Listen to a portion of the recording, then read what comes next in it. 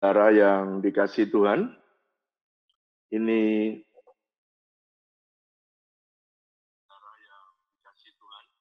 ini waktu di mana kita bersama-sama untuk menikmati doa fajar yang luar biasa. Dan saudara saya mau terlebih dahulu kita menyapa teman-teman kita yang sudah hadir hari ini. Ada Ibu Deborah Suprayitno dari Tanpa USA. Wow. Selamat malam ya Ibu Deborah. Ada Rita di New York. Selamat malam. Selamat malam di sana jam 7 malam. Ada Pak Jensen dari Bandung. Wow, hari ini banyak yang dari luar kota. Pak Victor dari Jambi. Ada Jessica dari Irlandia, Dublin. Ada Gina, ada Fran, ada Pak Yahya, dan seluruh elders dan inti serta pengejar jemaat dan pendoa yang sudah ikut bersama-sama. Dan saudara banyak yang sudah rindu untuk kita ketemu dan saya percaya ini waktunya kita bertemu di udara terlebih dahulu ya. Tapi sebentar lagi kita akan bertemu lagi kembali bersama-sama. Mari saya ajak kita berdoa. Orala masyala burala mutakurala musyedikara laburiana korolo masyala laburana labata. Le korolo kamu shedikara laburiana korolo kamu shedikara na korolo kamu shedikara laburiana koralapa. Rolo patoka rala pata walau seribu rebah di sisi kiriku dan sepuluh ribu rebah di kananku tidak akan menimpa aku. Aku tidak akan pernah goyah untuk selama-lamanya. Umatmu akan tetap kuat, akan tetap teguh. Terima kasih untuk kesaksian Pak Yosef dan Ibu Yuni yang meningkatkan iman mereka, tapi juga kesaksian akan membangun iman kami. Bahwa kadang-kadang Tuhan menolong kami di saat-saat yang terakhir. Tetapi kami harus terus tetap teguh dan percaya bahwa Tuhan janjimu itu ya dan amin. Terima kasih untuk Pak Roni yang sudah kau pulihkan. Bagaimana pentingnya kami megang janjimu, memperkatakan firmanmu, dan mendeklarasikan firmanmu. Di tengah-tengah bayang-bayang maut engkau menolong dia Tuhan. Hari ini yang sama, mungkin ada teman-teman kami, umatmu yang lagi sakit. Tuhan aku percaya kau menolong Pak Roni, kau juga menolong mereka. Terima kasih kau sudah menjamah dan menyembuhkan Pak Juhardi. Kami engkau sudah menyembuhkan Pak Henry. Engkau sudah menyembuhkan banyak pendoa yang disembuhkan Tuhan. Kami percaya juga Tuhan kau menyembuhkan Tuhan pendoa dan teman-teman kami penjaga menara dan orang-orang yang sedang sakit hari ini kami berdoa dalam nama Yesus. Engkau juga menjamah mereka. Tuhan terima kasih pagi hari ini izinkan kami merenungkan firman-Mu yang memberikan kekuatan pada setiap kami. Terima kasih Tuhan, Kau Tuhan yang hebat, Kau Tuhan yang dahsyat, Kau Tuhan yang luar biasa. Mari berbicara urapi hambamu, berkata-kata kepada kami lewat firman. Kami buka telinga kami, kami mendengar Tuhan. Di dalam nama Tuhan Yesus, kami mengucap syukur, kami berdoa. Haleluya. Amin. Senang sekali pagi hari ini kita bersama-sama kembali kalau saudara tanya saya judul daripada renungan pagi ini di doa fajar ini, saya beri judul School of Life. Kalau bahasa Indonesianya adalah sekolah kehidupan. Saudara, kalau kita sekolah pasti ada fase-fase ini ya. Fase yang pertama adalah fase belajar. Ya, fase belajar. Kita kalau sekolah saudara mungkin yang punya anak atau saudara masih sekolah, pasti ada fase yang pertama kita belajar. Lalu ada fase yang kedua, namanya fase ujian. Ya, habis belajar, lalu ujian. Nah, habis ujian, biasanya ada fase yang namanya liburan. liburan. Coba ya, walaupun saya nggak bisa mendengarkan saudara, tapi saudara mikir-mikir coba. Saya mau bertanya, saudara yang jawab. Kira-kira mana dari fase tiga tadi, tiga dalam sekolah tadi, sekolah ini yang sekolah benar ya, tapi nanti saya akan membawa sekolah kehidupan, school of life. Dari belajar, ujian, dan liburan, mana yang paling panjang? Coba. Dari tiga tadi. Mana yang paling panjang? Mungkin saudara nggak bisa jawab ya, tapi saudara bisa jawab lewat chat. Saya mau saudara uh, antusias ya, agresif. Walaupun saudara saya nggak bisa dengar saudara, tapi lewat chat kita bisa belajar. Mana? Satu, mana yang paling panjang? Oke, nomor dua pertanyaannya. Mana dari fase belajar tadi yang paling kita tidak sukai atau yang paling tidak disukai oleh anak-anak yang sedang belajar? Yang ketiga, mana yang paling disukai oleh semua orang yang belajar? Ayo, sekarang jawab masing-masing ya. Kita belajar mana fase yang pertama, fase yang paling panjang masanya. Wow, semua pada jawab fase belajar. Oke, bagus. Saudara antusias semua. Good. Oke, fase yang paling tidak disukai apa? Yang paling tidak disukai dijawab ujian. Ujian benar. Benar dapat 100 semua yang chatting. Ada 736 yang chatting hari ini. Dan paling apa yang paling disukai? Ayo, paling disukai oleh semua orang. Apa? Eh? yang paling yang paling disukai adalah apa? Belum ada jawab nih. Yang paling disukai adalah fase liburan. Betul, good. Bagus. Saudara semua antusias dan agresif. Nah, sekarang. Jadi dari tiga fase ujian, eh, dari fase sekolah atau school of life, sebenarnya sama dalam kehidupan ini. Saudara juga ada fase liburan. Ah, saudara happy-happy. Saudara, semua orang senang. Ada fase yang paling panjang, yaitu belajar. Ya, kalau saudara dengar saya khotbah, itu sebenarnya adalah fase belajar. Kalau di khotbah di gereja ya. Tapi kalau khotbahnya online itu berarti fase sedang apa saudara? Kalau khotbahnya seperti ini sebenarnya saudara sedang masuk fase apa nih hari-hari ini? Saya mau lihat. Hmm? Wow, yang saudara dan saya, kalau saudara dengar khotbah saya hari ini, pasti ini adalah fase yang saudara tidak suka.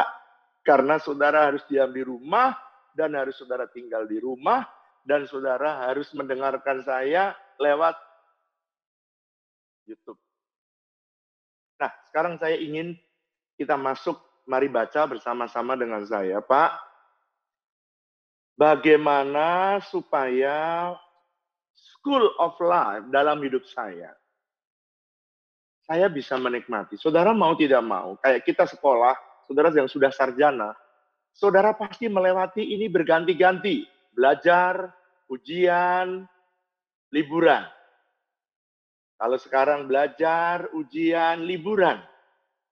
Nah sekarang kita sedang ada fase ujian. Mari katakan bersama dengan saya, masa krisis adalah fase ujian di dalam school of life. Krisis, semua bentuk krisis, yang khususnya hari ini. Jenis krisis itu tidak pernah saudara dan saya bisa tahu. Saudara mulai hari Minggu besok saya akan berbicara serial baru.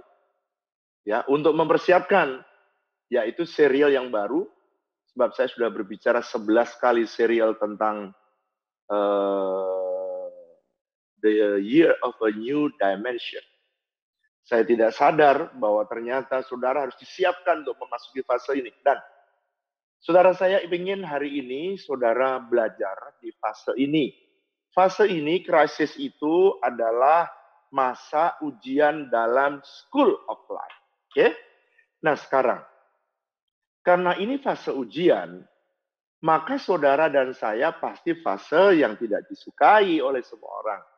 Sama seperti waktu kita sekolah, tidak paling tidak suka kalau kita melihat apalagi pengumuman ujian. Waduh, semua pasti nggak ada. Hore, hore, nggak ada yang begitu. Nah, sekarang saya ingin mendasari firman Tuhan.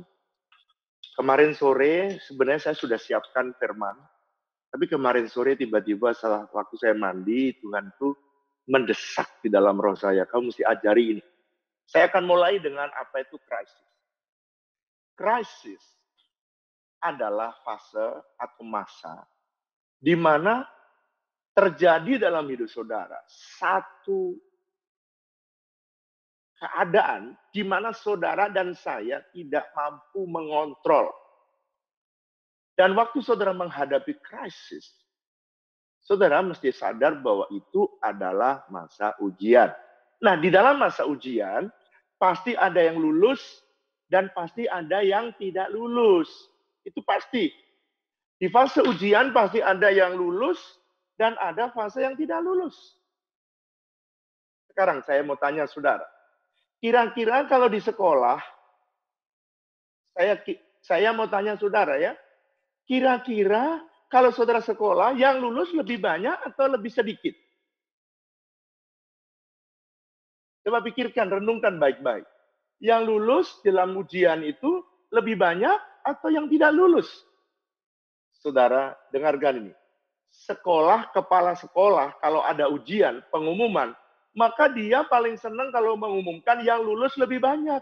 So, jangan takut kalau ujian. Karena yang terbagian besar, saudara, pasti akan lulus. Jadi jangan takut. Sekolah akan bangga kalau dia mengumumkan yang lulus 90%. Wah, dia senang. Tidak mungkin dia bangga kalau yang lulus saudara cuma 10%. Wow. Maka kepala sekolah itu akan merasa dirinya gagal. Kalau kepala sekolah saja, guru-guru saja tidak pernah mengumumkan yang lulus lebih sedikit daripada yang tidak lulus, Bapakmu di sorga juga ingin waktu saudara menghadapi krisis, pada waktu saudara menghadapi ujian, saudara Bapak di sorga akan mengumumkan, wow anak-anakku sudah lulus, yang lulus lebih banyak. Berarti kalau yang nggak lulus gimana Pak? R, ujian, remedial. Nah saya harus bicara di dua-duanya, balance ya. Tetapi saya mau beritahu, sorga setiap kali mendatangkan ujian. Jangan pengen cepet-cepet selesai, jangan, jangan semua semua krisis yang Tuhan izinkan untuk sedang menguji kita apakah kita bisa lulus dalam masa-masa ini atau her. Saya berdoa supaya semua saudara bisa lulus dan saya berdoa semua dari 769 yang ikut pagi ini saya berdoa nanti selesai COVID-19 dan saudara pasti akan cerita, Pak saya lulus, Pak saya lulus, Pak saya lulus. Surga juga akan mengumumkan, inilah sertifikat, inilah hambaku yang baik dan setia. Kamu telah setia melakukan firman Tuhan dan kamu nyatakan, nyatakan lulus. Bukankah itu yang kita akan dengar? Saudara, mari saya ingin membaca, mari buka bersama dengan saya Matius pasal yang ketujuh. Ayat yang ke-24 sampai dengan ayat 27. Saudara, kalau murid Yesus, nanti saya ceritakan, murid Yesus juga ada yang nggak lulus. Ada yang nggak lulus. Jadi kalau saudara tergoncang dan tidak lulus, jangan sedih. Saya mau bicara balance hari ini. Ada yang lulus, ada yang tidak lulus. Tapi jangan frustasi. Tidak boleh frustasi kalau ujian. Semakin frustasi, jawabnya jelek, responnya buruk. Oleh karena itu harus benar dan baik dalam merespon setiap ujian yang datang. Oke? Mari. Mari baca, saudara baca di rumah, saya baca juga di rumah. Walaupun kita tidak mendengar, tapi saudara baca bersama saya. Satu, Matius 20, Matius pasal 7, ayat 24. Satu, dua, tiga. Setiap orang yang mendengar perkataanku ini dan melakukannya, ia sama dengan orang yang bijaksana yang mendirikan rumahnya di atas batu. Kemudian turunlah hujan dan datanglah banjir. Lalu angin melanda rumah itu. Tetapi rumah itu tidak rubuh sebab didirikan di atas batu. Tetapi setiap orang yang mendengar perkataanku, perhatikan, dan tidak melakukannya, perhatikan ini suka madol, ya sekolahnya suka madol, sekolahnya suka cuma dengerin dan tidak mau taat melakukannya, ia sama dengan orang yang bodoh. Ia mendirikan rumahnya di atas pasir, kemudian turunlah hujan dan datanglah banjir dan angin melanda rumah itu sehingga rubuhlah rumah itu dan hebatlah kerusakannya. Nah, saya mau mulai dengan mulai dengan ini. Di waktu ujian, di waktu ujian, ujian kalau di dalam sekolah namanya ujian. Kalau di dalam hidup sehari-hari, school of life, apa ujian itu? Saya sebut krisis. Krisis adalah masa ujian. Oke? Nah, sekarang saya mau uh, menolong saudara Pak, kalau datang krisis, datang ujian, itu Tuhan itu akan melakukan dengan tiga macam ujiannya. Pertama, di dalam ayat itu, ujian yang pertama itu namanya banjir. Bilang sama saya banjir. Banjir itu datangnya nggak kecil, banjir itu besar karena bikin longsor yang tidak yang gagal, bikin bikin rusak Banjir itu berbicara tentang apa? Itu adalah ujian untuk fondasi. Apakah fondasi hidup saudara selama ini membangun keluarga, membangun rumah tangga, membangun hidup, membangun bisnis, membangun pelayanan saudara? Apakah selama ini Anda punya fondasi yang benar? Kalau minggu lalu saya menyampaikan di kebaktian Orang-orang yang menjadi pekerja, saudara akan tahan dan kuat kalau ada banjir datang dalam hidup saudara. Lalu ujian yang kedua, apa ujian yang kedua datang? Ujian yang kedua datang, dia akan datang bagaikan angin. Kalau fondasi tadi melihat bagaimana Anda membangunnya, apakah Anda menjadi pekerjanya Tuhan atau Anda menjadi pemiliknya Tuhan? Dia akan tes. Yang kedua, dan dia akan tes adalah angin. Angin-angin rupa pengajaran. Saudara hari-hari ini, wow.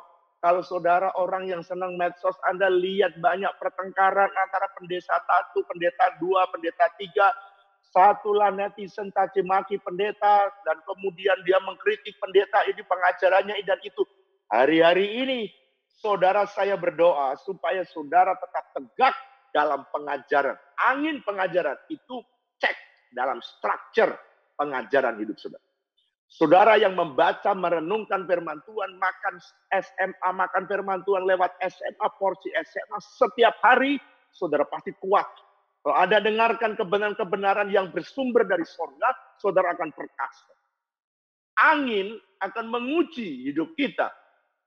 Kalau saudara mendengar ada pengajaran seperti ini, ada pengajaran seperti ini, mari berjalanlah di dalam firman Tuhan. Dan saya berdoa, saya berikan saudara kebenaran yang sehat, yang balance, biblical. Tujuannya apa? Sebab kalau ada angin, saudara pendeta bisa saja banyak mengelabui pendeta, eh, jemaatnya. Banyak pendeta bisa mengelabui pengerjanya. Tapi saya mau beritahu, kalau ada pendeta yang mendengarkan pagi hari ini, saudara saya mau beritahu, kalau kita kamuflase, nanti akan datang angin dan pasti roboh juga apa yang kita ajarkan hancur dan lebur. Sama juga kalau kita tidak kalau kita melayani bisnis dan saudara merasa memiliki semua yang saudara miliki hari ini, cuma akan akan datang banjir. Dan yang ketiga, saudara, Tuhan juga menguji ada hujan. Hujan itu menguji apa, Pak? Atap. Hujan menguji atap. Atap itu bicara apa, Pak? Spiritual covering. Saudara yang hari ini, jangan pernah jadi orang Kristen lonely. Jangan pernah jadi orang Kristen sekalipun saudara hebat, saudara harus punya bapak rohani. Tadi saudara kesaksian Pak Roni, dengarkan baik-baik. Sekalipun dia bergumul, tapi dia bercerita, ada bapak rohani yang memberikan dia kekuatan, yang memberikan dia payung, yang menolong dia sehingga dia tetap kuat melewati bayang-bayang maut. Spiritual covering, dengarkan ini. Sekalipun saudara sudah jadi pembicara hebat. Sekalipun saudara sudah diangkat Tuhan hebat. Saudara sudah tinggi. Mungkin saudara sudah kaya raya. Dengarkan ini. Sekalipun saudara sudah S1, S2, S3, S4, S7, S teler. Jangan pernah merasa hebat. Saudara harus perlu spiritual uh, covering. Saya saja masih punya bapak rohani. Saya kejar, saya pernah lonely selama enam bulan. Dan saya kejar tahun 2004. Saya mencari bapak rohani. Dan saya menemukan Paniko menjadi bapak rohani. Sekalipun dia nggak sempurna, tapi dia bapak yang selalu mengoreksi saya di saat saya uh, tidak benar. Dan dia akan jadi payung ketika ada serangan kuasa kegelapan itu enaknya. Saudara punya spiritual covering. Nah, sekarang saya mau masuk lebih dalam. Saudara kadang-kadang Tuhan itu menguji kita dalam bentuk tiga tadi. Pada waktu ujian datang seperti ini, maka semua firman yang kita baca, yang kita dengar, yang saudara diajarkan oleh gembalamu Anda dengar dan ketika Anda membacanya, pertanyaannya, kalau saudara melakukannya, maka saudara sama dengan membangun rumah di atas fondasi batu. Walaupun ada banjir, walaupun ada angin, walaupun ada hujan, saudara akan kerasa anginnya kenceng, saudara kerasa, semua kerasa. Waktu ujian, waktu kita ujian, walaupun yang lulus juga terasa rasanya nggak enak ujian, tapi toh lulus. Walaupun sekarang saudara dan rasakan ada goncangan kanan dan kiri, saudara terasa rasanya tidak enak, mungkin bisnis juga tidak seperti semula, tapi toh selesai COVID-19, saudara tetap bisa perkasa, saudara tetap bisa kuat, dan saudara tidak roboh dan tidak kehilangan keyakinanmu kepada Tuhan. Nah, saya ingin kita uh, belajar step by step ya. Saya ingin menunjukkan kepada saudara kalau yang saya cerita berhasil-berhasil terus, kalau saya cerita berhasil-berhasil terus, maka saudara nanti yang gagal, saudara akan frustasi. Tapi saya mau cerita dulu yang gagal. Supaya saudara ada penghiburan. Jadi memang dalam ujian itu, memang tes namanya ujian. Ada yang lulus, ada yang nggak lulus. Tapi yang nggak lulus, tenang. Tuhan itu guru yang baik. Dia tidak akan mencobai kita, menguji kita, melampaui kekuatan kita. Jadi kalau kita fail, tidak dibiarkan kita sendirian. Kalau saudara fail, saudara gagal. Saya ulangi lagi. Kalau saudara gagal, saudara fail. Jangan putus asa, jangan depresi, jangan ada yang bunuh diri. Tapi saudara belajar untuk remedial. Memang ada orang yang nggak lulus sekolah, terjun dari lantai 21, ada. Ada yang nggak lulus skripsi, terjun dari lantai 18, ada. Tapi saudara yang benar, kalau gagal, itu namanya ujian itu pasti ada yang gagal. Dan nggak apa-apa. Dan kita bisa remedial. Yesus guru agung kita. Mari kita belajar. Murid Yesus saja yang sudah diajar Tuhan Yesus tiga setengah tahun saja, dia bisa fail kok, dia bisa gagal kok. Dan apakah kalau dia ketika dia gagal kemudian dia dibuang? No, no, no, no, no, no, no, no, no, no. Nggak akan dibuang. Coba ya. Mari saya ajak saudara membaca. Di dalam Matius pasal yang ke-14. Bagaimana Tuhan Yesus mengajari Matius pasal 14. Bagaimana Yesus mengajari murid-muridnya untuk beriman. Percaya. Saudara ngerti ya, kalau mau saudara lihat sorga terbuka di muka bumi, saudara harus iman, beriman. Faith is heaven currency. Kalau saudara pengen lihat suasana sorga, kuasa sorga, berkat sorga datang dalam hidupmu, perlindungan sorga, protection sorga turun dalam hidupmu, hanya satu yang bisa menolong saudara. Hanya satu yang diterima di sorga. Currency, heaven currency is not money or gold or silver, but heaven currency is faith. Haus minum dulu ya.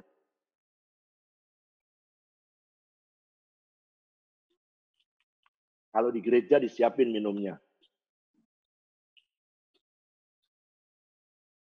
Kalau di rumah, nyiapin sendiri. Sekarang mari kita buka Matius pasal 14 ya. Mari kita baca Matius 14 ayat yang ke-22 sampai ayat 33. Ujian, ujian. Oke? Nanti baca, saya cerita saja. Satu hari mereka lagi berjalan, disuruh Tuhan Yesus, kamu pergi, pergi ke seberang, aku akan pergi ke sana. Mereka murid-muridnya berangkat. Lalu di tengah jalan Yesus berjalan di atas air. Waktu Yesus berjalan di atas air, wow saudara, semua murid-murid langsung hantu. Coba saudara, berhasil apa? Gagal, lulus, apa tidak? Saya tunggu deh karena saya nggak bisa dengar suaranya. Lulus atau gagal ujiannya? Yesus datang berjalan di atas air, sebenarnya dia sedang pengen provokasi murid-muridnya, tapi Yesus, uh, tapi murid-muridnya itu hantu dan semua lagi bilang itu hantu. Saya tanya, berhasil atau gagal?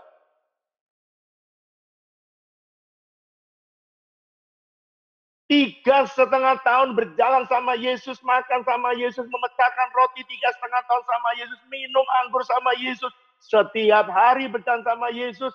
Eh, Yesus lagi jalan. Dia bilang itu hantu. Saudara saya sampai hari ini belum pernah saya lewat jemaat bilang, eh hantu gitu, belum pernah. Jadi murid Yesus itu di kala itu harusnya langsung bilang, oh Tuhan, dia gagal. Udah gagal. Walaupun dia gagal, apakah Yesus membiarkan mereka gagal? No. Yesus bilang, saudara baca, bukan, bukan hantu. Ini Tuhan. Hantu sama Tuhan, itu tergantung kancingnya. Kancingnya saudara. Hantu. Hantu. Hantu. Tergantung berhentinya. Tuhan, Tuhan, Tuhan. Tuhan, Tuhan, Tuhan. Hantu. Tergantung. Jadi saudara, itu Tuhan atau hantu tergantung saudara. Saya berdoa supaya di tengah-tengah ujian seperti ini kau harus kenal betul dengan Tuhan. Saudara ada orang berkata ini setan, ini iblis. Ini iblis yang bikin krisis. Tuhan bilang bukan. Aku Tuhan yang sedang membiarkan ujian. Ada gelombang Yesus berjalan di atas air. Dengarkan, situasi seperti ini pun Tuhan dekat dengan saudara. Dia mendekati saudara sekalipun masa ujian gini, Yesus tetap jalan mendekati saudara. Walaupun dibilang hantu, gagal pertama tuh. Oke? Gagal kedua. Yesus tetap kasih clue. Makanya kalau guru, kalau ada ujian, dia selalu kasih kisi-kisi. Saudara tahu kisi-kisi ujian? Dia akan bilang gini, coba kisi-kisi ujian. Dia kasih tahu kira-kira ujiannya itu keluarnya seberapa. Oh, langsung bilang Petrus, oh Tuhan, itu Tuhan. Dia bilang. Waktu dia bilang, itu Tuhan. Dia berkata, Petrus berkata, kalau itu Tuhan, suruhlah aku berjalan di atas air dan datang kepadamu.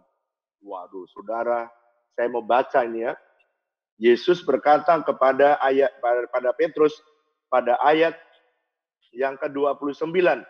Sebab Petrus berkata 28 begini, Tuhan, apabila engkau itu, kalau itu Tuhan, suruhlah aku datang kepadamu berjalan di atas air. Dia pengen mengalami, oh dia ingin mengalami pengalaman supranatural. Yesus bilang, ayat 29, kata Yesus, datanglah. Datanglah adalah rema. Firman yang untuk Petrus di kala itu. Situasi genting, krisis. Waktu itu Yesus eh, Petrus keluar dari bahtera dan berjalan di atas. Wow. Saudara pasti berkata, wow. Kalau sekarang di wow. Ingat, ujian itu datang terus menerus. Oke? Okay? Ujian itu, krisis ini tidak akan berhenti sebelum umatnya mengerti bahwa that is a season of crisis, is a season examination.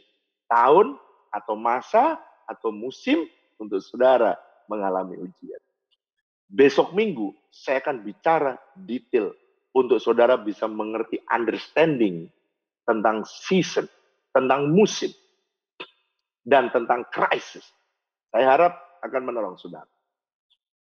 Nah kalau begitu dia berjalan di atas air, Dia pikir udah selesai, udah lulus, lulus. Eh, ada ujian berikutnya.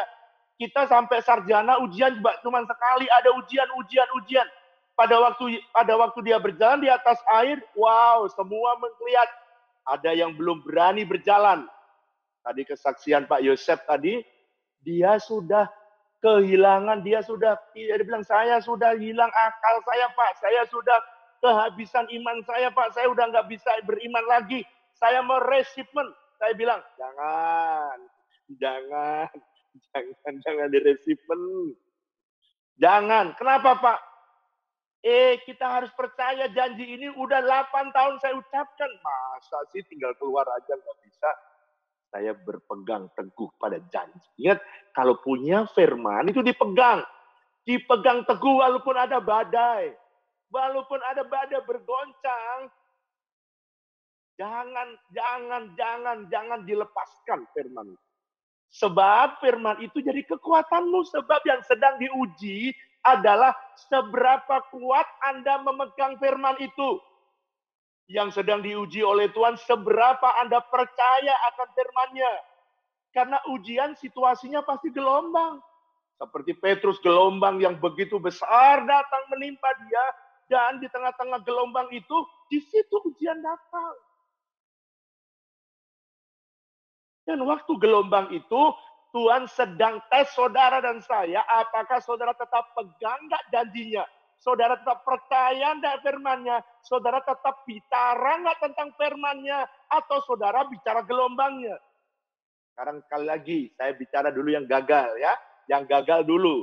Supaya saudara yang gagal hari ini, kalau saya mengucapkan firman dan saudara terima, tapi saudara waktu ujian gagal, Jangan putus asa, perhatikan. Jangan depresi, apalagi jadi gila. Jangan. Rehab orang gila, udah penuh saudara. Apalagi bunuh diri. Jangan. Tolong beritahukan apa yang sedang saya ajarkan kepada saudara. Beritahu kepada banyak orang. Sebab di tengah krisis banyak orang yang bunuh diri, banyak orang yang mati, banyak orang depresi. Pada banyak ujian ini untuk menolong saudara Apakah saudara berpegang kepada janjinya atau tidak? Saya tunjukkan dulu yang gagal. Ini kali berasul supaya saudara, saya pengen menolong saudara, menghibur saudara yang gagal. Ayat 29, ayat 30. Ayat 29 saya mulai. Kata Yesus, datanglah. Maka Petrus turun dari perahu dan berjalan di atas air mendapatkan Yesus. Wah, dengan perkasa okay, good. Ayat 30, dia pikir ujiannya selesai. Tetapi ketika dirasanya tiupan angin, takutlah ia dan mulai tenggelam di dalam air. Saudara, kenapa gagalnya dia? Ini perhatikan, kenapa banyak orang gagal waktu ujian iman? Dengarkan, garis bawahi kalimat itu. Saya kasih stabilo di Alkitab saya. Ketika dirasanya. Saudara harus beriman. Ujian iman itu ya harus pakai mata iman, perasaan iman. Jangan ujian iman yang saudara pakai adalah dirasanya. Pada waktu dia lihat gelombang besar, dirasanya. Apa-apa maksudnya dirasanya? Dia tidak lagi menggunakan iman, dia nggak lagi pegang, dia gunakan perasaannya. Waduh, gelombang gede kayak begini. Begitu dia beralih dari hidup secara ilahi, turun imannya secara manusiawi. Jadi kalau saudara khawatir, saudara cemas, itu tahu. Saudara sedang tidak beriman. Saudara bilang, saya beriman kok. Kata malaikat, Fred, gitu. Pak, saya percaya, tapi saya khawatir. Malaikat bilang, Fred, gitu saudara. Gimana taunya? Tenggelam. Brrr tenggelam dalam kekhawatiran, tenggelam dalam dalam kegelisahan, tenggelam dalam oh, teng, tenggelam dalam kesukaran, tenggelam. Pada waktu tenggelam, ingat dia gagal yang kedua. Gagal kedua, saudara. School of life selalu ada masa-masa di mana Tuhan izinkan saudara mengalami kegagalan. Mungkin saudara bertanya, kalau saudara dengar tadi kesaksian Pak Yosef, untung kita punya gembala yang kuat imannya. Pertanyaan saya, Apakah gembalamu pernah gagal dalam ujian? Ayo jawab, jawab. Antusias, yang antusias. Pernahkah kira-kira gembalamu gagal dalam ujian?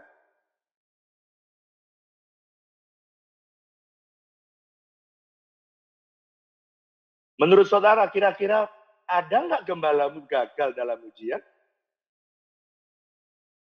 Menurut saudara, pernah nggak? Ada yang jawab nih. Pernah. Gagal, Pak. Ya, gagal. Ya, bagus. Jujur. Apakah gembalamu pernah gagal? Pernah. Pernah.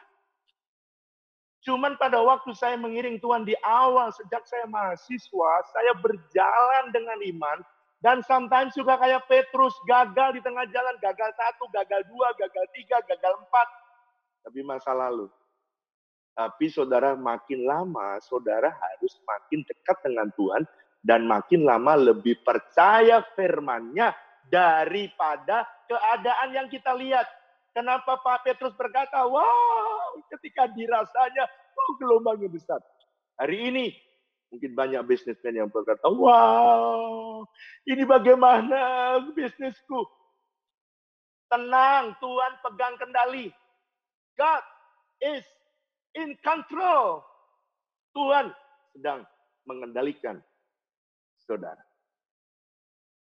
Oleh karena itu, jangan takut. Apakah Petrus dibiarkan ketika dia gagal? No. Coba ya baca. Tetapi ketika dirasanya tiupan angin yang keras, takutlah ia dan mulai tenggelam lalu berteriak, Tuhan tolonglah aku. Ingat yang saudara gagal, mungkin saudara ujiannya apa? Saya tidak tahu. Mungkin ada saudara yang sedang ujian. Tuhan, aku sudah mendengar dari gembalaku aku memberi. Oh, ingat ya, pada waktu kita belajar, saya ajari waktu dulu masih belum ada gelombang nih. Ayo, kalau kamu mau menang keuangan, hukum keuangan pelajari. Cara ngelola kekuatan-kekuatan untuk memperoleh kekayaan harus dipelajari. Cara ngelolanya 10% berpuluhan, 10% benih, maksimum 70% operasional dan selalu ada saving 10%. Kalau operasionalnya bisa lebih rendah 60%, savingmu 20%. Kenapa kok saya ajari saving? Ya gini pada waktu seperti ini. Kenapa saudara saya ajari perpuluhan? Supaya ada pintu sorga terbuka. Dan saudara seperti ini, saudara akan mengalami ujian. Dan ujiannya apakah sorga terbuka enggak pada waktu seperti ini bagimu? Kalau saudara yang setia kepada Tuhan dengan keyakinan yang kokoh, dan saudara memberi dengan benar dengan ketulusan hatimu, memberi perpuluhan pintu sorga akan selalu, dengarkan, selalu terbuka bagi. Pak, kenapa sih Bapak ngajarkan benih? Benih setiap saudara tabur, benih saudara tabur, sebenarnya saudara sedang melakukan hukum. Tuhan berkata, kalau kamu tabur benih, maka pasti kamu akan menuai pelipat gandaan aset saudara. Di saat krisis seperti ini, dengarkan saya berbicara pada saudara pagi ini. Ujian seperti ini, kalau Anda rajin tabur benih, kau tidak akan pernah ada aset yang hilang. Tapi pertanyaannya, Pak, kalau ternyata aset saya keluar, ya gagal, nggak apa-apa. Ujian memang ada yang gagal, nggak apa-apa, belajar lagi. Kalau dulu saudara mendengar kebenaran saya khotbah seperti ini, dulu mungkin masuk knowledge, masuk pikiranmu saja, tapi saudara belum punya keyakinan yang kokoh. Gimana saudara bisa tahu di saat ujian seperti ini? Kalau saudara mengalami pintu surga terbuka, berarti saudara berjalan seperti Petrus berjalan di atas air. Walaupun mungkin saudara nggak bisa kerja, mungkin saudara tidak bisa, saudara tidak bisa seperti layaknya bekerja. Tetapi saya mau beritahu, ada tiga, ingat ya, dari tiga berkat-berkat yang bakul dan berkat lumbung, itu hanya dalam dunia ini, kalau dia sedang mengalami goncangan, ingat, hukum sorga. Saudara masih ada berkat yang datang dari surga. Kalau saudara setia dan melakukannya, maka saudara akan mengalami di masa seperti ini, sorga selalu terbuka. Mari katakan bersama saya, ketika saya, sama-sama ya, ketika saya mentaati firman dan memegang firman dan melakukan firman, maka di saat susah, di saat krisis, aku akan melihat sorga yang terbuka. Pak, tapi goncangan terus. Jangan perasa, jangan gunakan rasa. Beriman. Karena heaven currency bukan perasaan, tapi iman. Heaven currency is not feeling. Heaven currency is faith. Jadi perasaan, saya rasa dulu Pak Wiryo kayaknya ngajarinya terlalu berat. Jangan pakai perasaan. Karena saudara kebenaran yang saya ajarkan kepada saudara itu sebenarnya hidup saya sudah jadi laboratorium. Ini saya ya. Saya tidak akan mengajar saudara sebelum hidup saya menjadi pelaku dari firman yang saya ajarkan. Sebab saya tidak berani menyampaikan sesuatu yang saya belum jadi laboratoriumnya. At least saya harus punya understanding dan saya udah jalan di dalamnya. Dan kebenaran itu sudah saya lakukan selama 34 tahun. Dan saya melihat sejak saya mengalami dulu saya melarat. Di tengah melarat, di tengah kemiskinan, saya tetap bisa pegang janji itu. Dan saya lihat bagaimana sorga terbuka. Saya mengalami musim krisis berulang kali. Tetapi di tengah krisis, saya ujian. Ujian nggak mungkin sekali, saudara. Nggak. Nggak apa-apa. Jadi saudara yang gagal hari ini. Misalnya saudara, waduh Pak, ternyata di saat krisis seperti ini aku ikut krisis. Oke, Petrus saja yang berjalan tiga, berjalan bersama dengan Tuhan Yesus tiga setengah tahun aja bisa fail kok. Bisa gagal kok. Gak apa-apa sudah. Gak apa-apa. Bangkit. Toh satu hari nanti kita akan kebaktian lagi. Kalau Pak Wiryo lagi khotbah, dengarkan lagi kali ini, pasti saudara lebih gresep kalau saya mengajarkan hukum-hukum bak keuangan. Makanya saudara, hukum-hukum keuangan saya ajarkan, hukum-hukum keluarga saya ajarkan. Supaya saudara taati, supaya keluarga saudara kuat di masa-masa goncangan seperti ini. Ada bisa lulus di tengah-tengah ujian. Apalagi Pak, goncangan. Semua, perhatikan, semua prinsip firman ada.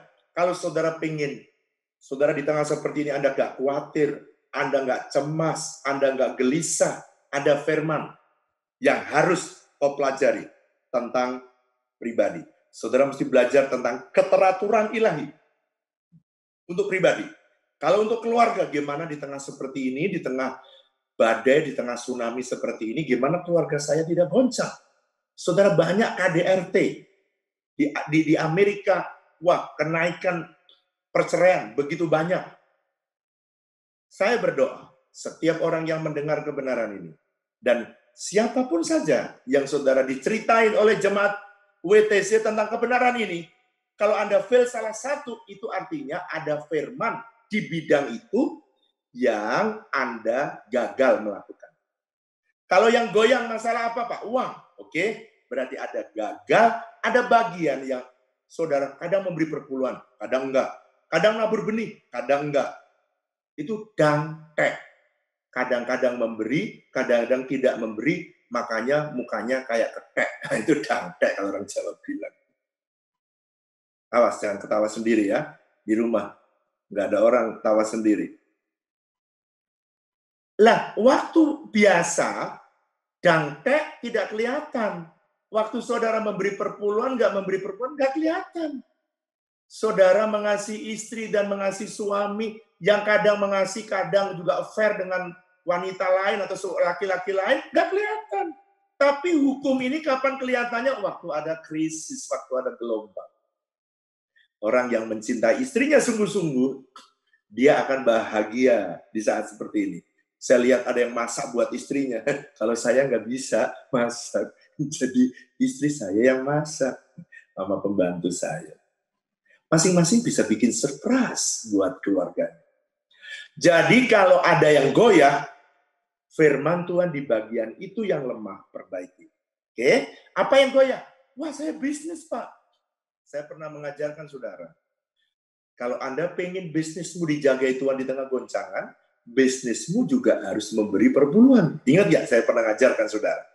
Kalau saya memberi perpuluhan, maka saya dan keluarga saya dijagai, diberkati. Bagaimana supaya gereja bisa diberkati? Gereja harus memberi perpuluhan. Makanya gereja sejak berdiri, saya beritahu kepada bagian keuangan. Jangan pernah lalai memberi keuangan, memberi perpuluhan. Saya selalu bilang, setiap kali sudah menerima itu rekening koran, saya beritahu, kamu harus tulis dan langsung keluarkan. Kenapa? Sebab saya tahu hukumnya. Makanya saudara, gereja kita kenapa di tengah krisis selalu dari tahun 2015, kenapa selalu diberkati? Alasannya karena kita lakukan prinsip firman Tuhan. Gereja selalu memberi perpuluhan dan selalu menabur benih. Tahun ini saja, kemarin saya bilang sama Pak Ju, Pak Ju, biasanya kita nabur bulan-bulan April, Mei, Juni, gitu ya pertengahan. Tapi tahun ini khusus, tahun ini saya mulai Januari Tuhan bilang, kamu nabur. Awal tahun. Saya bilang, kenapa Tuhan? Udah, nabur. Saya nabur dalam jumlah yang besar pelayanan di Papua. Tuhan bilang, tepat, kerjakan. Dua, tabur yang lebih besar lagi. Saya tabur ada gedung gereja yang lebih besar dari gedung gereja kita yang lagi dibangun. Saya tabur jumlah yang besar. Supaya apa? Supaya tuayan di tahun depan, walau karena krisis, kita tetap diberkati. Tahun ini gimana Pak? Tahun lalu saya sudah saya sudah melakukan, gereja sudah lakukan. Kalau saudara melakukan seperti yang saya kerjakan, seperti yang gereja kerjakan, maka saudara pasti dilindungi dan dijagai. Kalau kau perus, kalau dirimu beri perpuluhan, maka dirimu dijaga Tuhan. Kalau perusahaanmu memberi perpuluhan, perusahaanmu akan dijaga dan dilindungi. Kalau gerejamu, pelayananmu memberi perpuluhan, maka perusahaan pelayananmu juga dijaga oleh. So, itu adalah hukum hukum. Pak, tapi saya gagal. Saya lagi gagal. Nggak apa-apa. Nggak apa-apa. Ujian pasti ada yang gagal. Emang ada yang gagal. Bukan pasti, sorry. Ada yang gagal, bukan pasti. Ada yang gagal. Tapi lebih sedikit. Tapi saya bisa berdoa. Saya bisa berdoa. Bisa lulus semua. Bisa. Waktu saya sekolah, ada yang lulus semua satu kelas saya berdoa kalau bisa lewat ujian ini semua lulus kalau boleh saya minta. Kalau sebagai guru Pak saya. Saya sebagai pengajar, sebagai guru, saya pengen Anda semua lulus. Tetapi hanya Tuhan yang tahu. Nah, sekarang, Pak, oke ya, Petrus, gagal pertama. Tadi pada waktu apa? Mengenali Yesus. Hantu. Waduh, untung Yesus gak kepahitan. Dua, udah ngalami mujizat berjalan di atas air. Eh, gunakan perasaannya lagi di tengah seperti ini. Jangan ingat, jangan gunakan perasaanmu. Oke, gagal yang kedua. Pertanyaan saya, waktu dia gagal kedua, di dalam School of Life, ujian gagal, apakah dia dibuang? Selama saudara masih mau datang kepada Tuhan, dengarkan, Tuhan tidak akan pernah buang saudara. Never. Sebab dia Bapa yang baik. Saudara sudah ditebus oleh darah Yesus yang mahal. Makanya Tuhan tidak akan pernah izinkan saudara jatuh tergeletak.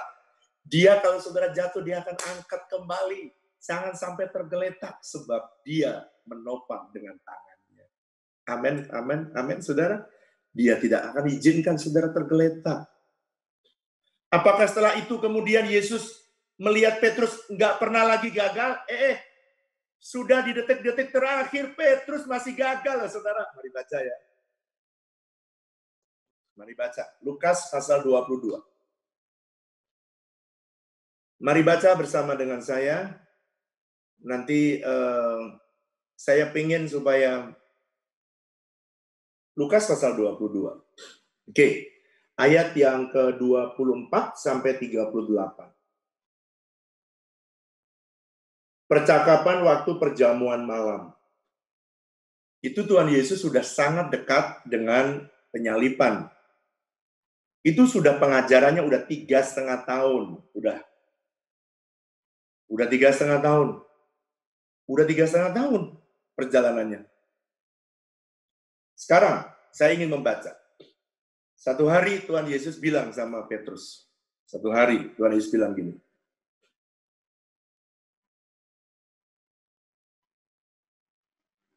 Ayat 28. Kamu kamulah yang tetap tinggal bersama-sama dengan aku dalam segala pencobaan yang aku alami. Dan aku, ayat 29, aku akan menentukan hak-hak kerajaan bagi kamu sama seperti Bapakku menentukan bagiku. Ayat yang ke-31. Yesus bilang kepada Simon, Simon, Simon, lihatlah iblis telah menuntut untuk menampi kamu seperti gandum. Coba saudara, udah detik-detik terakhir pun masih ada ujian. Ujian itu dari sisi Tuhan, cobaan dari sisi setan. Setan ingin iblis ingin menampi, artinya iblis ingin bikin pencobaan lagi. Yesus lihatnya sebagai ujian. Makanya supaya nggak gagal diingetin. Mon. Simon kan panggilnya Mon ya. Mon. Sebentar lagi ada iblis akan menuntut kamu. Kamu kuat ya? Kuat ya, hati-hati ya. Kalau ujian datang lagi ya, udah dikasih tahu kisi-kisinya. Coba ya, mari baca. Ayat yang ke-33. Ayat saya baca. Simon iblis menampilkan ayat 32 saya baca. Tetapi aku berdoa, Yesus berdoa untuk Simon supaya imanmu jangan gugur. Saya juga berdoa setiap hari dengan Ibu Flora supaya imanmu tidak ada yang gugur setiap hari, khusus di masa krisis ini. Itu sebabnya saudara sebagai pemimpin harus jadi spiritual covering, harus jadi payung bagi anak-anak. Yesus juga sama. Dan engkau jikalau engkau sudah insaf kuatkan saudara-saudaramu. Ayat 33, waktu Yesus bilang, Simon ada iblis ingin menampi kamu, menuntut kamu. Jawab ayat 33, mari baca dengan suara keras. Saudara baca ya bareng-bareng suara keras ayat 33. Satu, dua, tiga.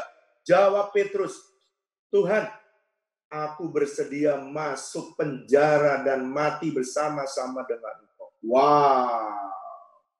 Ayat 34. Yesus mengajar lagi, memperingatkan Simon lagi.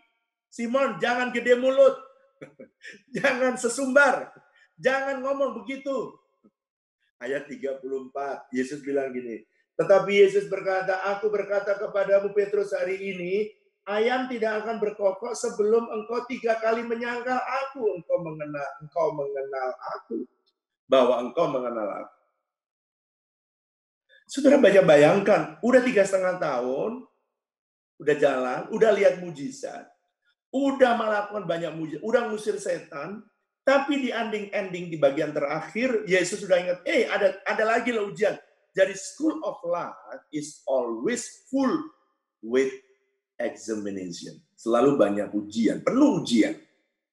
Jadi kalau saudara mengerti ini, kalau ada ujian, anggaplah anggaplah ujian itu sebagai satu kebahagiaan supaya Anda menghadapi ujian dan lulus. Sekalipun gagal, Petrus ini gagal. Waktu Yesus ditangkap, waktu Yesus belum ditangkap, dia bilang, aku akan mati bersama engkau. Aku tidak akan menyangkal engkau, aku akan bersama dengan engkau ke mana pun kau pergi. Yesus bilang, Mon, Simon, sebelum ayam berkokok, kamu telah menyangkal aku tiga kali. Gak mungkin Tuhan, gak mungkin. Gak mungkin. Mungkin nyanyi, Oh tak mungkin, tak mungkin. Begitu saudara. Yesus bilang, mon udahlah. Waktu ujian datang, Yesus ditangkap. Dia ditanya sama perempuan, bukan di persidangan sama perempuan datang. Bukankah kamu orang Galilea sama seperti dia? Enggak, enggak, enggak. Bukankah kamu mengenal dia? Enggak, enggak, enggak. Pertama. Kedua, dia lagi ada orang lagi membakar kayu api dan kemudian dia nimbrung di situ. Ada satu orang lagi berkata kepada dia, Loh, bukannya kamu dari bahasanya ketahuan kamu orang Galilea? Bukankah kamu mengenal dia? Enggak, enggak. Saya enggak kenal dia. Coba, sudah tiga setengah. Fail, tiga kali. Gagal. Pertanyaan saya. Apakah dia dibuang? Enggak, saudara. Petrus tidak dibuang. So, saya mau beritahu kabar baik. Pagi ini dalam School of Life, dalam ujian iman, kalau saudara gagal, ayo bangkit kalau yang saudara sedang jatuh di bagian keuangan, benahi bagian keuangan. Buku-buku TC 02 pelajari lagi. Kalau saudara cemas, gagal, khawatir, saudara mengalami kekhawatiran yang begitu mencekam, stres, depresi, baca buku TC 01. Oke? Kalau saudara, bagaimana Pak? Kalau uh, saya lagi mengalami uh, kegoncangan di bidang lain, saudara baca semua firman Tuhan. Pak, apakah Tuhan marah dengan saya? Enggak. Tuhan nggak marah, tapi waktu ujian seperti ini, itu akan menguji saudara dan saya apakah firman itu sudah menjadi daging dalam hidup saudara atau belum. Kalau firman menjadi daging, firman yang akan membela hidup saudara. Firman yang akan menjaga hidup saudara. Seperti tadi Pak Roni sampaikan. Ketika saya lagi sakit, saya ucapkan firman. Firman yang membela hidupnya sehingga dia bisa bercerita hari ini menjadi kesaksian. Jadi kalau saudara jatuh, jangan frustasi, jangan depresi. Bangkit. Saya mau berdoa buat saudara. Kalau yang hari ini saudara sedang mengalami kesakitan, atau saudara sedang mengalami kesulitan, atau sedang mengalami jatuh, atau saudara sedang mengalami uh, bisnis, saudara sedang mengalami kesukaran, jangan putus asa Pokoknya semua kalau ujianmu gagal, ingat siswa tidak boleh berhenti karena ujian gagal. School of Life, kenapa disebut school? Kenapa disebut sekolah? Karena pada waktu gagal masih ada kesempatan untuk kita masuk ujian lagi. So, belajar lagi. Jangan pernah menyerah. Saya ingin berdoa. Saya tidak tahu kesukaran apa yang saudara hadapi, kesulitan apa saja yang saudara hadapi, tapi mari kita belajar bersama-sama. Saya tidak tahu apakah banjir yang sedang datang, atau angin yang sedang datang, atau hujan yang sedang datang dalam hidup saudara. Setiap orang di masa krisis masing-masing diuji apakah fondasinya, ataukah pengajarannya, angin pengajaran, apakah saudara selama ini tidak punya spiritual covering, Anda nggak punya kelompok sel yang di mana ketuanya yang bisa menolong saudara dan berdoa. Tadi Pak Yosef bercerita, Untung ya, saya ada di wadah yang mengandalkan Tuhan. Saya untung aku ada di dalam kersel yang mengandalkan Tuhan. Aku untung ya punya Bapak Gembala yang mengandalkan Tuhan. Saudara kita family saling menguatkan. Bahkan saya mau cerita, kadang-kadang Tuhan, Tuhan, bukan hanya Pak Yosef. Kemarin itu, saudara saya mau cerita, kontainer itu saya baru dapat dari WA dari orang pabean, dari Dirjen Pajak. Pak, pendeta, itu kontainer sudah ada di ranah lelang. Jadi bukan lagi di ranah kita, Pak. Udah di ranah lelang. Itu lelang itu artinya saya udah desperate dan sudah tidak ada way out lagi. Sampai saya pagi-pagi petik gitar saya, keluarlah mulut saya berkata, Tuhan, kontainer itu udah sampai dilelang. Jadi kontainer itu kayak Lazarus yang sudah mati, Tuhan. Ketika saya lagi petik itu gitar, tiba-tiba saya dengar suara Tuhan. Sekalipun sudah mati Lazarus, tapi kan bangkit. Saya beritahu kepada Pak Yosef, eh Pak Yosef, jangan putus asa, pergi lagi. Kata Tuhan, Lazarus bakal bangkit. Maksudnya Pak, ya kontainer bakal keluar dia bawa orang media. Sampai di sana, ternyata nggak bisa keluar. Hari kedua dia bawa lagi orang media. Bawa keluar. Pak Yosef lapor, Pak, saya udah bawa orang media. Nggak keluar-keluar, Pak. Iya kan baru hari kedua. Kan harus bangkit dari keempat. Pak Yosef pergi lagi. Dan waktu dia pergi lagi, dia lapor, Pak, kasih videonya. Kontainer keluar. Saudara, kadang-kadang Jangan menyerah, pegang janji Tuhan. Pegang firmannya.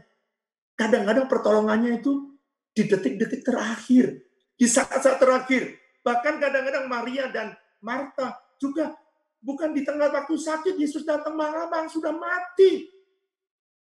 Dan kalau saudara membaca Alkitab, kenapa diizinkan itu? Supaya kita tambah pengalaman, percaya berjalan bersama dengan Tuhan. Pokoknya pegang Tuhan, dia tidak pernah mengecewakan. Haleluya. Mari kita ajak kita bersama-sama berdoa. Nyanyi sebentar ya. Pertolonganmu begitu ajaib. Kau telah memikat hatiku. Sama-sama nyanyikan. Di saat aku tak sanggup lagi, di situ kuasamu bekerja. Pertolonganmu begitu ajaib. Kau telah memikat hatiku di saat aku tak sanggup lagi. Ku percaya pada firman-Mu. Percaya kepada firman Tuhan. Waktu kau tidak sanggup lagi, percaya kepada janjinya. Mari angkat dua tanganmu. Saya mau berdoa, Tuhan, pada saat kami tidak sanggup lagi, kuasamu bekerja. Pada saat umatmu jatuh, kuasamu yang menopang, dan kau tidak izinkan mereka tergeletak. Tuhan aku berdoa supaya mereka bangkit menggunakan iman mereka, percaya kepada firman Dan mereka Tuhan, berjalan bukan berdasarkan perasaan, bukan berdasarkan penglihatan yang mereka lihat, tapi mereka berjalan berdasarkan iman. Aku berdoa Tuhan, kalau bisnisnya lagi mengalami kesulitan dan gagal dalam ujian ini, aku minta supaya kau bangkitkan mereka. Supaya mereka melakukan hukum-hukum keuangan dengan benar. Hukum-hukum bisnis dengan benar. Kalau mereka ada yang yang keluarganya mengalami berantakan oleh karena krisis ini. Ujian ini mereka gagal. Topang kembalikan mereka sehati. Mereka duduk berdua lagi dan doa sehingga keluarga bisa dibangkitkan. Mungkin ada yang cemas Tuhan. Mungkin ada yang khawatir. Mungkin ada gundah gulana. Mungkin ada gelisah. Aku minta dalam nama Yesus supaya kau restorasi Tuhan bangkitkan mereka datangi mereka dan hibur mereka. Seperti kau mendatangi Thomas aku tidak percaya sebelum aku mencucukkan tanganku ke dalam tangan lubang tangan Yesus. Datangi umatmu satu persatu. Siapa saja yang hari ini mendengarkan firmanmu aku minta supaya mereka kau datangi satu persatu. Dan sekalipun mereka gagal kau angkat dan berikan kesempatan untuk masuk di dalam belajar ulang kembali. Tuhan aku berdoa kalau yang mereka menang dan mereka kuat dan teguh, biarlah mereka tetap memegang firman-Mu dan jangan pernah goyah. Terima kasih Tuhan. Kau Tuhan yang hebat, Kau Tuhan yang dahsyat. Kuatkan umat-Mu, kuatkan kami semua, di mana pun mereka berada. Ada yang di New York, ada yang di Tampa, USA, ada yang di Dublin, Irlandia, ada yang di Bandung, ada yang di Cikarang, ada yang di BSD, ada di mana-mana tempat, di mana pun mereka berada. Aku berdoa supaya tanganmu bekerja dan menjamah mereka. Dan tidak kau izinkan mereka jatuh dan tergeletak. Ujian tujuanmu supaya kami lulus. Aku berdoa supaya mereka terus makin hari makin kuat. Dan makin hari makin perkasa di dalam Tuhan. Terima kasih Bapak, Tuhan yang baik. Terpujilah namamu dalam nama Yesus. Mari angkat dua tanganmu dan terimalah berkat Tuhan. Biarlah berkat kasih karunia dan damai sejahtera yang berlimpah-limpah dari Allah Bapa kita. Kasih dan cinta dari Tuhan Yesus. Persekutuan yang manis dengan Allah Roh Kudus. Kiranya menyertai saudara sekalian mulai hari ini. Bahkan sampai selama-lamanya. Yang percaya sama-sama katakan. Amin. Selamat pagi saudara. Tuhan Yesus memberkati saudara berlimpah-limpah.